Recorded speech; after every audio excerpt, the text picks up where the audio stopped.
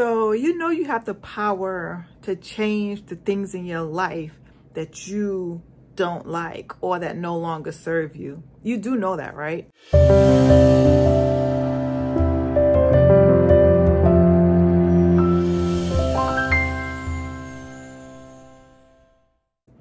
You do know that you are a creator and you create your reality. Tell me, chosen ones, tell me that you do know this, right?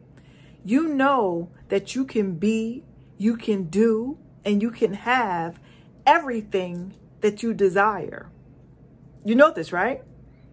Well, if you don't know this, I'm here to tell you this.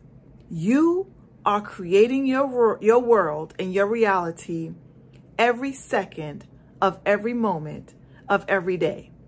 So if you look out and there's something in your life or some things in your life that you don't like, guess what? You need to change it. So how do you change it? Well, you have to change your thought process. You have to change the words that you tell yourself. You have to change your energy. You have to you have to change the way you see yourself and you see your life. You have to see what you want to see and not what you don't want to see. So many times we are so caught up in the things that we don't want. We don't want this. I don't want that. I don't like this. I don't like that.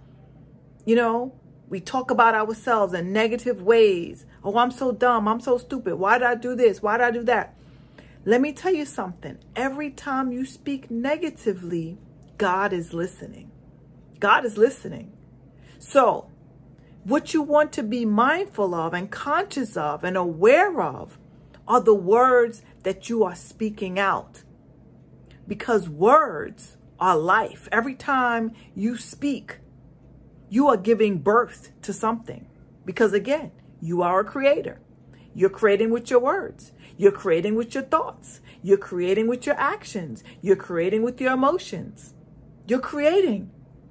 So you have to start becoming aware and being intentional about what you say, about what you feel, about what you think. Because every time you put those things out there, thoughts are vibrations, emotions are vibrations, words are vibrations. So everything you're putting out there, everything is energy. And God is listening. God is listening to your thoughts. God is listening to your words. So what are you putting out there? What you're seeing right now in your reality, that's what you put out there some time ago.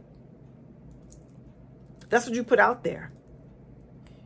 Whatever you don't like right now that you're looking out and seeing, where you live or who you're dating or who you're married to or your job, whatever. You put that out there. And you have to take accountability for that.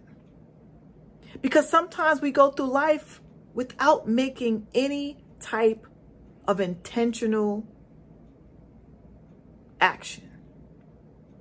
So since you've come on this video, make sure you subscribe. By the way, if you're liking the content, subscribe to this channel, like this video, share it, and comment down below. Let me know and ring that notification bell so you'll be notified when I upload a new video. But everything that you say, you are creating. You are the master of your world. You are the creator. And so it doesn't say like, you know, right now you just say, oh, you know, I want my life to be better. I want my life to look like this. And then poof, it's going to happen. No, it doesn't happen like that. It's going to take some time. Why? Because we live in a 3D world, right? Actually, we were ascending to the 5D, but that's a whole nother video. But we live in a world that is 3D. And our thoughts and our emotions and our words are 5D. So when we speak and when we think, it has to catch up in this reality because, because the reality that we see is slower than what our minds. That's why we can think of something right now, right? We can feel something right now. But right now, it's not going to appear before us. It's going to appear later. So that's why you have to start practicing, practicing these principles, practicing these habits of speaking your life into existence, speaking what you want into existence, speaking what you want to do into existence, speaking who you want to become. Speak that into existence. Speak what you want to have. Speak it into existence because your reality will have no choice but to reflect those things. So let me just give you an example. Let's say you're in a bad relationship, right? And you're like, oh, I don't, you know, I don't want to be in this relationship. Maybe it's abusive or whatever. And you're like crying and you're just like, you know, I want out. I want to be out of this relationship. I don't know how I got in this relationship. I don't like this person, yada, yada, yada. And you just keep saying this every day, but you don't leave yet, but you keep saying this stuff, right? Maybe you're arguing with the person. Maybe they're arguing back with you. So it's like, you know, but you got all of this emotion, all of these thoughts, all of these, you know, all of these words coming out, going out into the ethers, into the universe. You're putting all this out there. And then that day comes. It may be a month from that day that you said all these things, or, you know, it could have been over time. But it's eventually going to come. That day that you get a chance to be away from this person. The breakup happens, right? You've been wanting it. You've been asking for it. You've been talking about it. You've been thinking about it. You've been crying about it. And that day comes. But it's up to you at that point that it comes. Are you going to say, oh no, but I love this person and go back? Or are you going to say, you know what? This is what I asked for. This is what I prayed for. This is what I wanted. I'm going to take this breakup. I'm going to go work on myself and I'm going to become the best version of myself. At that moment, that's when you have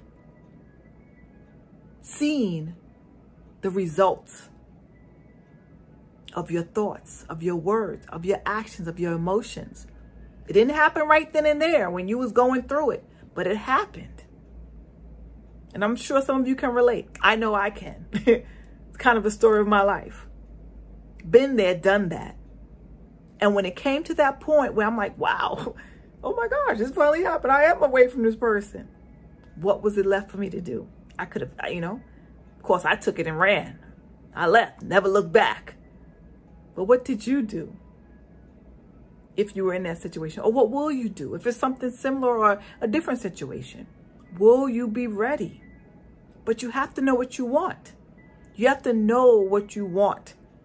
You just can't go through life willy nilly and expecting, you know, diamonds to fall from the sky. If you want diamonds, you got to ask for diamonds. You got to pray for diamonds. You got to put that emotions of diamonds out there. You got to see the diamonds.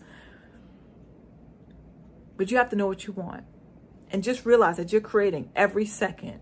So make sure that your days count. Make sure that your thoughts count. Make sure that your words count. Make sure that your emotions count.